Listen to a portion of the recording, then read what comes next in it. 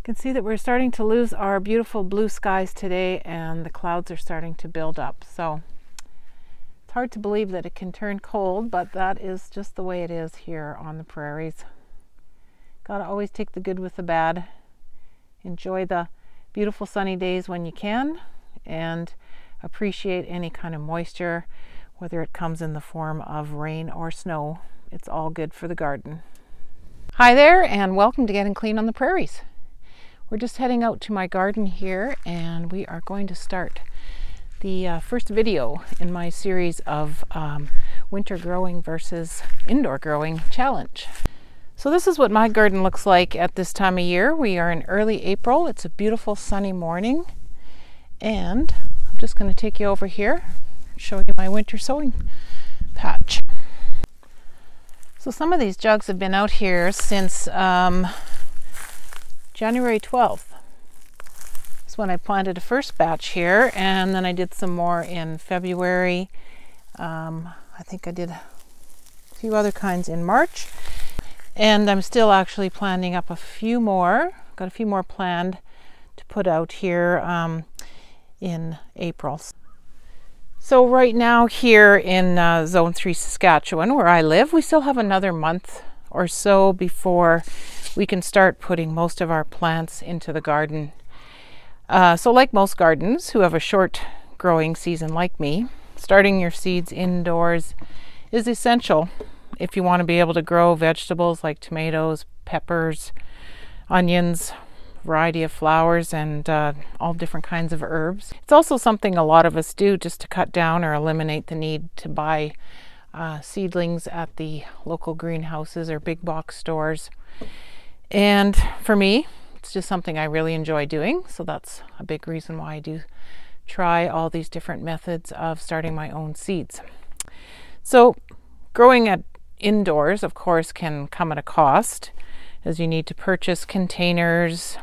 Um, you can reuse, all obviously, but a lot of times you have to purchase different types of containers, seed starting trays. Uh, you got to purchase your potting soil, seeds. And if you really are serious about indoor growing, you can get into grow lights and shelving, and all of this requires space in your home and also requires a lot of time.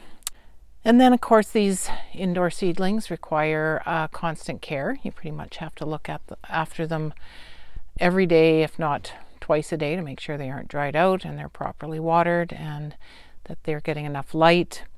Um, but you know, there's usually a high success rate of germination with your indoor seedlings, and you usually end up with healthy seedlings um, that are ready to go outdoors. So that's where these are um, a little tricky, trickier to uh, harden off compared to the winter sowing. You have to take these delicate little seedlings outside after being in a very controlled environment and expose them to the elements and take your time hardening them off so that they're ready to uh, to be transplanted into the garden. So that takes us to the winter sowing method and why would you want to try using that method as opposed to starting your seeds indoors. So winter sowing is much cheaper. It's you reuse um, containers such as milk jugs, or juice jugs or any kind of containers. As you can see in my assortment here, it's kind of whatever you find around your home that works.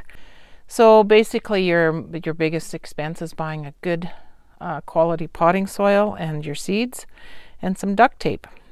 So that's pretty much all you need to spend your money on. And then once you have them set outside in the cold, that's pretty much all you do. It's kind of a, a leave it, set it, and forget it type method. So um, cheaper, lower maintenance, tougher transplants. Um, the best kind of plants to use in this method would be perennials and cool weather crops such as lettuces and uh, brassicas. Um, I would say some of the cons of the winter sowing is probably a lower chance of germination based on what kind of stuff you are growing.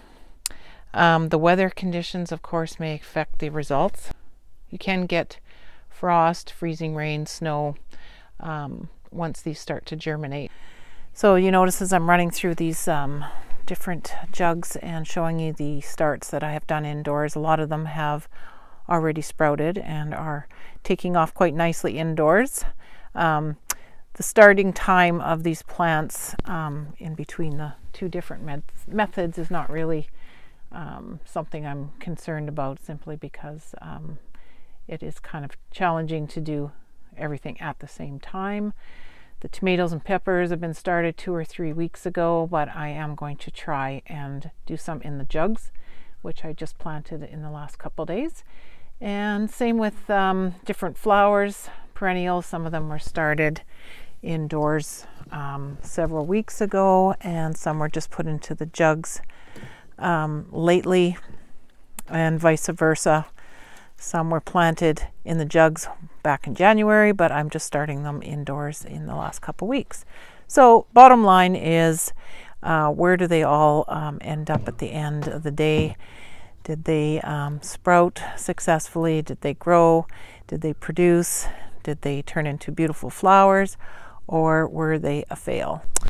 So, that is going to be the part of the challenge is to um, give you updates every few weeks and show you where things are at and what is working best and what is failing. So, as I mentioned earlier in my um, when we're talking about the pros and cons of each method, one factor that can um, really affect the success of your winter sowing is the weather. As all of us gardeners would know, um, you never know what Mother Nature might have up her sleeve especially in the springtime. We've had days in March here where the temperatures have been to almost 20 degrees Celsius. It's been beautiful warm weather and we are into almost mid-April now and today again another beautiful day. But the weather forecast is saying that we are in for two to three days of snow, freezing rain, freezing temperatures, blowing winds and all sorts of things that um, are concerning me regarding my winter sowing. So I'm just trying to decide whether I should just leave these jugs out here to the elements and test out these mini greenhouses to see how good they will protect my plants or if I should uh, maybe consider uh, babying them a little bit, covering them up with a blanket, or moving them into my garage or garden shed. So, if you want to find out what happens, um, what has happened with my winter sowing method after we uh, get through this stormy weather predicted for the next three days, please remember to hit the subscribe button and uh, click on that notification bell so that you don't miss out on the next video where I will update you on my winter sowing versus indoor growing challenge. Thanks for watching.